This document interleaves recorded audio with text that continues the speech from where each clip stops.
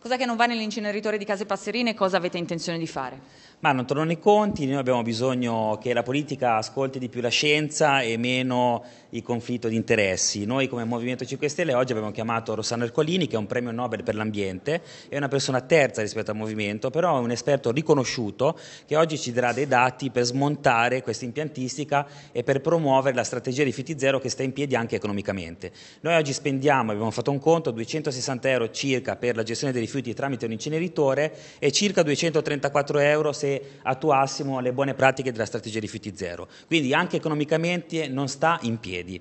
L'inceneritore oltretutto è, eh, dire, dovrebbe bruciare circa 50.000 di tonnellate all'anno in più per rispettare i requisiti europei per la eh, produzione di calore, quindi ci chiediamo questi rifiuti da dove dovrebbero venire secondo il piano regionale dei rifiuti, probabilmente da fuori regione, visto anche l'andazzo di come si sta gestendo i rifiuti a livello nazionale con lo sblocco Italia.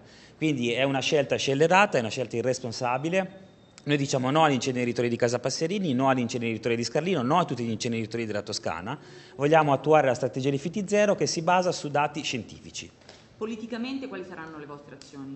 Ma, eh, portare la Regione con buone, gli esempi, le buone pratiche, con i numeri a fare questa scelta. Noi saremo in opposizione, denunceremo con tutti gli atti ispettivi, faremo le nostre proposte perché la Regione adotti la strategia rifiuti zero. Oggi la regione toscana è la tredicesima regione in Italia per raccolta differenziata. Produciamo 2 milioni e 600 mila tonnellate di rifiuti solidi urbani e 7 milioni di tonnellate di rifiuti speciali, che è un'altra tematica di cui dovremmo occuparcene al più presto.